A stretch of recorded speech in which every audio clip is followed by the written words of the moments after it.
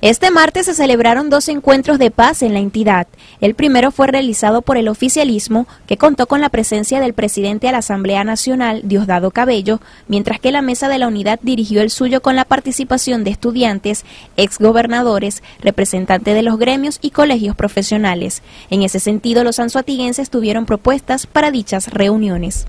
Lo primero es, el país, la patria, y las diferencias políticas deben sobrellarse hacia un lado.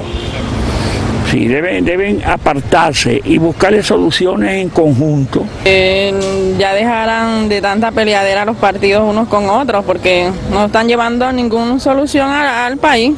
Bueno, yo le propongo tanto a los adecos como a los copellanos, a los mepistas, a los burredistas, a los pecevistas, a los PCU, que todos se unan para que hagan una sola paz y haya un solo gobierno y una sola revolución, porque en guerra no hacemos nada. Que haya paz, es lo que queremos nosotros, no, que, no queremos estar como dicen guerra, Venezuela nunca se ha visto en esos problemas. Un día yo iba para el rincón y vi una manifestación de estudiantes y tenían unos carteles que decían, este Maduro asesino suelta a Leopoldo.